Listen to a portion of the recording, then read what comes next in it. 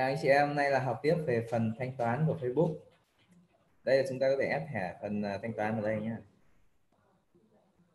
Đây. Đây là vào phần cài đặt này, xong vào phần thanh toán này. Cài đặt tài khoản. Và chúng ta có thể thêm thẻ tín dụng hoặc thẻ ghi nợ ở đây. Cái thẻ này thì anh chị em có thể ra ngân hàng để làm thẻ Visa Master nhé uh, tránh hai ngân hàng là ngân hàng Vietcombank với cả Vietinbank ra tại vì là hai ngân hàng đấy đã bị Facebook từ chối rồi. Thẻ ngân hàng Visa này.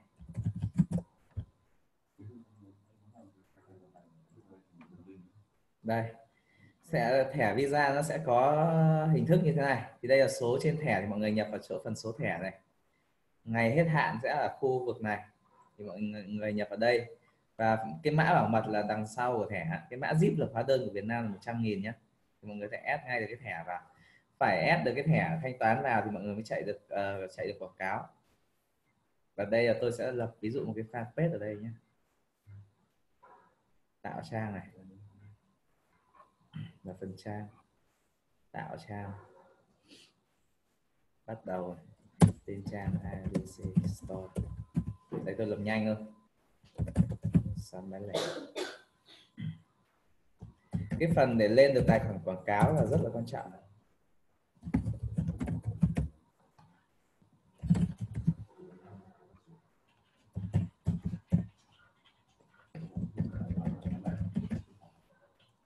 Với một cái nick mà anh chị em sử dụng ấy, tức là cái nick chính của mọi người, thì việc lên tài khoản quảng cáo nó sẽ không khó đâu. Tại vì là cái yếu tố ở đây là cái nick của mọi người là nick tương tác thật sẽ có rất nhiều like, share, comment, inbox rồi live stream.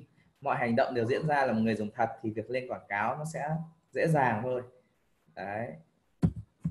Tại sao nói về chuyện là lên tài khoản quảng cáo sẽ dễ hay là không dễ? Tại vì ở Việt Nam thì chạy bùng quảng cáo rất là nhiều.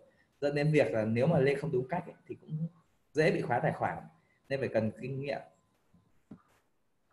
Và sau khi ép thẻ rồi thì anh chị ấn vào cái phần quảng cáo bài viết đây đấy và sẽ chọn các phần uh, target ở đây. Thì tôi sẽ nói kỹ hơn ở phần sau. Và mọi người ấn vào quảng cáo ngay. Thì ở chỗ này mọi người ép thẻ vào cái phần này cũng được. Và tiếp tục là sau là sẽ lên được chiến dịch quảng cáo đầu tiên.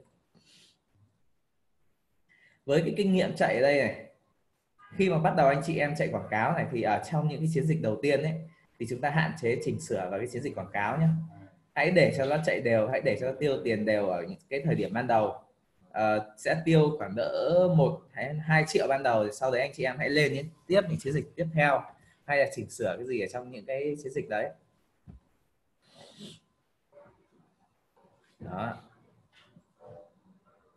Tại sao ở Việt Nam lại à, hay bị khóa tài khoản? Tại vì là có rất nhiều người đang chạy bùng quảng cáo dẫn đến việc là ví dụ như là thẻ Vietcombank này, hay thẻ Vietinbank là những thẻ dùng để chạy bùng nhiều là cũng à, không ờ, không thể sử dụng được trong chạy quảng cáo rồi. Và nữa là chạy những cái hàng mà không vi phạm chính sách, nhưng mà như tôi nói ở trong những cái video đầu ấy, thì sẽ dễ lên tài quảng cáo thôi. Nhưng mà nếu mà để mà lên những sản phẩm có vi phạm chính sách như là fake này, hàng thực phẩm chức năng này, thì sẽ khó lên hơn, thì nó sẽ phải có kinh nghiệm và kỹ thuật cao hơn.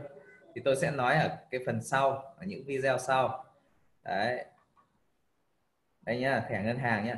Anh chị em có thể làm của ngân hàng ACB thì rất nhanh, làm một cái là có thể lấy được luôn.